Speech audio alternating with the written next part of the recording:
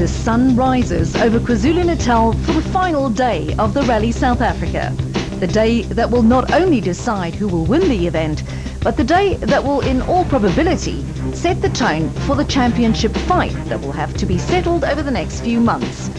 The Rally South Africa moves further inland to the forest and plantations in and around the Richmond area west of Pietermaritzburg. These roads haven't been used for rallying since early 2007, but they are dauntingly fast and will provide a tough test of bravery and driving skills.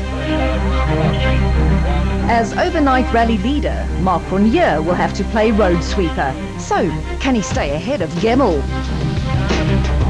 I think I can. I've got a good car underneath me. Uh, we saw yesterday that the car felt really, really good. Or will Gemmell be able to chase his rival down? Well, that's the plan, eh? This is quite a long stage, so we'll see after this one how we do. It's been a while since Enzo Kuun has found himself in the top three. Will he be happy to hold station, or does he have ambitions to challenge for the lead? Uh, we're taking a big step, like you see with the car, so we're closer.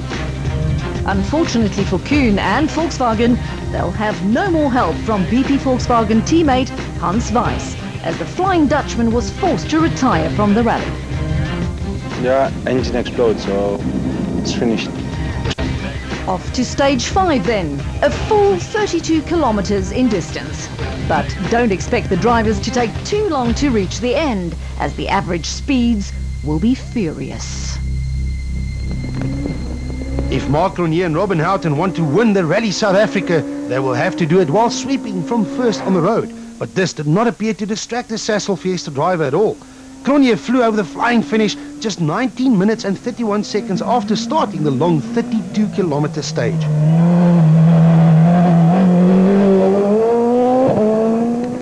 Johnny Gemmell and Caroline Swan now had it all to do. Gemmell is renowned for his ability to chase his rivals down on day two, and with a slightly better road position, everyone was expecting the Castrol Toyota to close the gap on the first stage of the day. But no, his time is 19 minutes and 39 seconds. Gemmell loses another 8 seconds to Cronje. Time for Enzo Kuun and Guy Hodgson to formulate their plans for the day.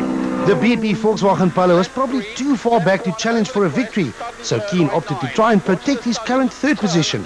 His time of 20 minutes exactly was however somewhat slow and only good enough for sixth on the stage. The mapping on the car has really gone off, so it's very difficult to drive. With the demise of Hans Weiss before the start of the day's first stage, John Williams and Cobus Frey were gifted a position when they climbed from fifth to fourth. But the Sasol driver now also had Kuun's third position in his sights. On stage five, he managed to beat Kuun's time, but only by three seconds. Into right five in. Right six, left five, right six, left five, into right nine. Into left six. Interesting to wake up and have to push so hard over 35 k's. I think the lowest gear we went to was third gear. It's pretty much flat out. Hein Lategan and Johan van der Merwe had ambitions of improving on their overnight sixth position overall. But the SAC Trucks Peugeot driver also had to keep an eye out for his very own son, who started the day just 2.2 seconds behind. Lategan Sr. took just 20 minutes and 1 seconds to complete the fast stage 5. But behind him on the road, his 18-year-old son showed no respect for his father or the Q8 Oils Volkswagen Polo as he went two and a half seconds faster to overtake his dad on the overall leaderboard. no, good. It was a good stage. Good fun. Jan Habig and Robert Paisley started day two in an unaccustomed eighth position overall, something which would not have pleased the man who has been rallying for nearly three decades. These Basil Read technicians were able to adjust the Fiesta's handling to be more to his liking, and it showed as he set the third fastest time of all to rocket himself from eighth to fifth on the overall standings in just one stage. The names Gugu Zulu and Carl Peskin were now becoming a regular feature in the top 10 on most rallies, and the Rally South Africa was no different. Zulu set the ninth fastest time on the day's opening stage and moved into eighth position overall. Fast flowing stage, but we're not quick enough, and uh, yeah, struggling with a bit of setup. Charles Wilkin and Etienne Lawrence were still getting used to their new relationship inside the Basil Read and Dizzup-sponsored Fiesta. And early on during stage 5, their skills were to be even further tested when the intercom system failed.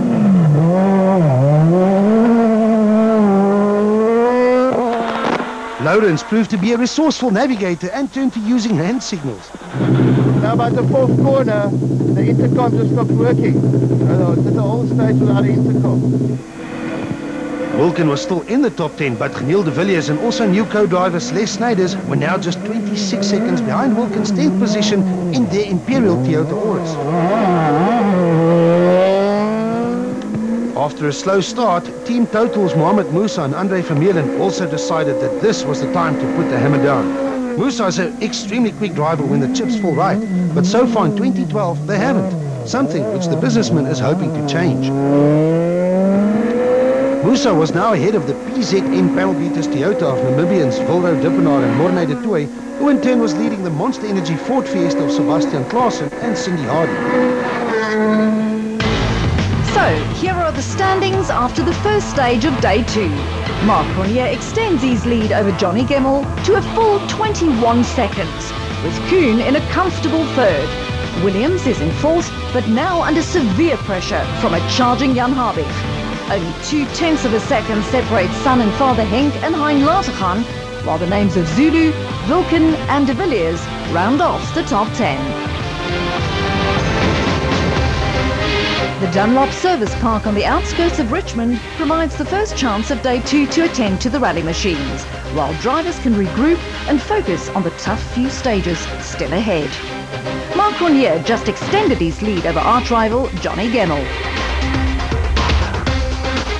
It was quite nerve-wracking up front because you sort of just don't know how to how hard to push and there's a lot of blind crests and you're not sure what's on the other side. I mean, we did the recce, but you're still not that 100% confident. The fact that Cronje edges further ahead means that Gemmell finds himself further behind. Yeah, he had a good stage, obviously. I think he got eight seconds quicker than us, so uh, that was pretty good. It was a nice stage there. Jan Habig had a slow start to the event, but the Master was on a mission to see how far up the leaderboard he could go. Just, I think we're just trying to find the right speed to do what we can do. And that's probably sort of get close to third. And just two tenths of a second is all that separates Henk and Hein Lategan, but with the advantage in the favour of the youngster. Yeah, but it's, it's very close and I know my dad's really quick. So um, I think I'll we'll see through the next stage what happens. If there are any questions as to what will happen at the Rally of South Africa, stages 6 and 7 will provide most of the answers. Stage 6 is a flat-out affair on wide sugarcane type roads, while stage 7 returns to the plantations and is more technical. But together, these two stages account for 46 kilometers of gravel road racing, and that without the chance to service the cars in between. And as with so many times before, the Rally South Africa was now turning into a two-horse race between Marc Cronje and Robin Houghton and Johnny Gemmell and Caroline Swan.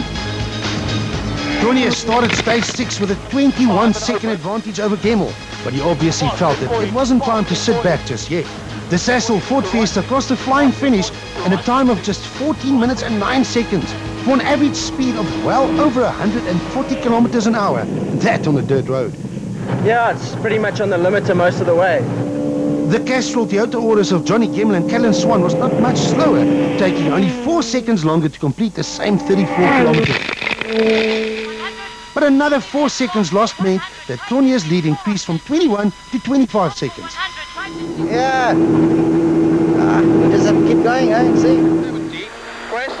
Enzo Kuun and Guy Hodgson had given up on the leaders and were probably happy with their current third position, but they now had a charging John Williams and Jan Habig closing in on the BP Polo.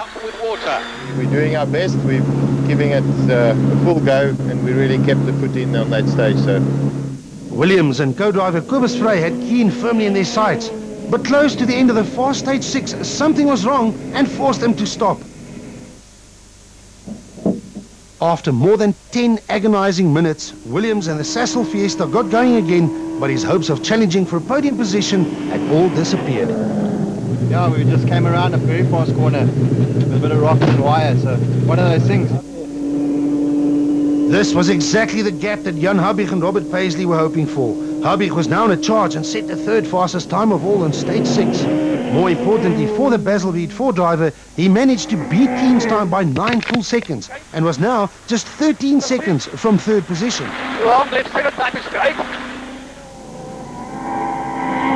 Behind the battle between Kuun and Habig for the final podium position, a family feud was raging between 18-year-old Henk Lategan and his somewhat more experienced father Hein.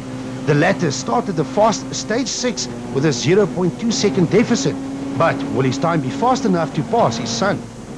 Being a dad, I'm not, I don't think it's good if he goes faster because you will start to worry about it. The word fear does not exist in a schoolboy's vocabulary, and young Henk Lategan obviously has never heard of it either, as he simply kept his foot flat at over 170 kilometers an hour and extended his advantage over his father by another 1.6 seconds. That was scary. no, it's a very fast stage. It's full commitment. You need, just scary. Eh? Still the final day of the Rally South Africa, where Marc has managed to open up what is starting to look like a comfortable gap over current championship leader Johnny Gemmell, with a number of just as fierce battles raging on behind the leaders. With 17 Super 2000 four-wheel drive rally machines taking the starters' orders the day before and 14 of them still running, time was running out for South Africa's top drivers to jockey for their final positions. Team Totals Mohamed Musa and Andre Vermeulen have seen the ugly side of Lady Luck far too many times so far in the 2012 season as they very rarely got past stage one. This time, however, Musa did make it into day two of an event, but once again, he was destined not to reach the end as a parked rally car on the side of the road is never a good sign. Well, coming out of the gearbox and when that normally happens and you've driven a little bit of a distance, then you start to worry. So Class S2000 Challenge Points leaders Gugu Zulu and Carl Peskin were somewhat behind their main class rivals Henk Lategan, but second in class would still be more than enough for the BP Polo driver to keep his class lead intact. Zulu was also running well inside the top 10, but it took nearly 10 minutes longer than his rivals to reach the end of stage 6. Uh, we had a puncture halfway through the stage and, uh, you know, without even having a ratchet gun, we had to use a normal wheel spanner, so we lost incremental amount of times. This loop of stages proved to be the undoing of many teams. Besides Musa, Zulu and John Williams early on, Charles Wilken became another driver to run into trouble. The Basil Read Fiesta driver and his standing but experienced co-driver Etienne Lawrence now also had a puncture and dropped from 9th to 13th. Stop, kan nie, dit kan nie anders nie. Stop hierso. Laat los plek. Dit stadig ry nie. Nee, 16 kilos, jump. 16 kilos. Ons gaan dit nie one of those rallies puncture in the stage. So. Someone with a clean run so far was Giniel de Villiers and his new co-driver Celeste Snyders. De Villiers had a slow and cautious start to the event, but after getting some stage distance behind him and the Imperial Toyota Auris, the former Dakar rally winner was getting more and more comfortable as he slowly climbed his way up the leaderboard to finish this loop of stages in a very credible seventh position overall it's it's quite tricky. You know, I must say I'm, I'm, I'm, battling a bit with the fives and the sixes at the moment. You know, just to really have the confidence to attack them uh, 100%. Rallying is all about speed, but it has to be matched with the ability to finish. When a number of drivers ran into trouble like they did halfway through the final day of the Rally South Africa, it opens the door for other drivers to climb the ranks and the leaderboard. Sebastian Klaassen and experienced co-driver Cindy Harding did not make any mistakes in their Monster Energy Ford and were rewarded with ninth on the leaderboard at this stage of the event. Namibians, Wilro Dippenaar and Morne du Toit were just as consistent, but even faster as they climbed to 8th in the PZN panel beaters Toyota. Like Lategan Jr. and Gugu Zulu, Dippenaar is also contesting the Super 2000 Challenge class for older generation S2000s used by the factory teams in previous seasons. And with the Zulu losing time, Dippenaar was now not only in the overall top 10, but also second in the S2000 Challenge class. But at the sharp end of the field, however, we still had three individual battles raging with the top six points scoring positions still at stake. Henk Lategan was leading his father by less than two seconds going into stage seven. And clearly, the youngster ignored all family orders as he set the third fastest time of all on stage 7. That Q8 Oil's Volkswagen Polo increased his lead over the SAC Trucks Peugeot of his father by another full five seconds.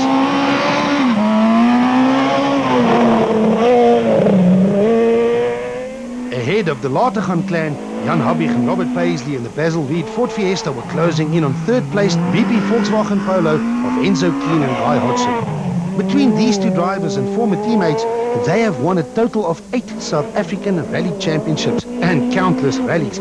So there's absolutely no love lost when it comes to this battle for the final podium position. Kuun had a 13 second advantage over Habig, but the Volkswagen driver lost time on the stage and Habig takes over third position. Seven in, right seven in, into tight right six. To seven here, opens to a right six tight. Lost a valuable time. Time we don't have.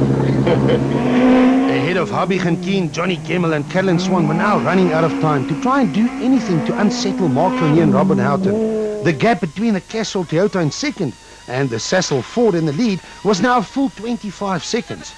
Gemmell has worked miracles before in his long career, but so has Mark Cronje, and the younger of the two pretenders did not show any cracks. In fact, the Sasol Ford recorded its fifth stage victory of the event to extend his lead over Gemmell to a full 32 seconds. Into next right two in. Here's proof of how Mark Cronje dominates the field with a 32 second advantage over Johnny Gemmell. The final podium position changes hands with Habig now ahead of Kuun, while young Henk Later de Villiers moves up to seventh ahead of Namibian Vilro Dippenaar and Sebastian Klaassen, while Chad Conradi in a Super 1600 front-wheel drive car rounds off the top 10.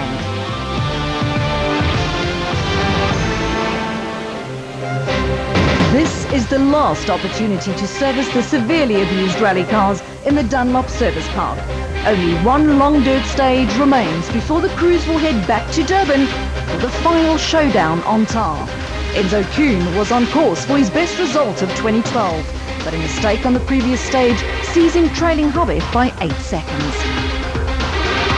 We're in a big fight at the moment and we have been all day. Uh, it's quite challenging because I think we've although we've taken a step with the car in terms of reliability, the, we still don't have the speed. So we're really pushing very hard inside the car. On the other hand, Habig set out on day two to reach the podium. And with only one real stage to go, finds himself in third overall. I think uh, up until now we've achieved what we set out to do. Not much more we can do, I think, on this rally. At the top, Johnny Gemmell was wondering if there was anything more he could do. Yeah, it's a little bit far. Yeah, around 40 seconds and 38 Ks. But uh, we'll still go ahead and give it a go in there and see.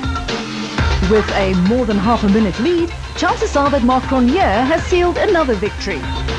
Well, it's never over till it's over, you know. So we've got a 30k stage coming up now, and I think it's absolutely vital that we stay focused. And this is the final gravel battlefield. 32 kilometers of fast gravel roads make stage 8 the last real opportunity for any of the protagonists to try and influence the outcome. After stage 8, the crews will head back to Durban for a final short showdown on tarmac and in front of large crowds. But the rally itself will most probably be won or lost in the forests of Richmond.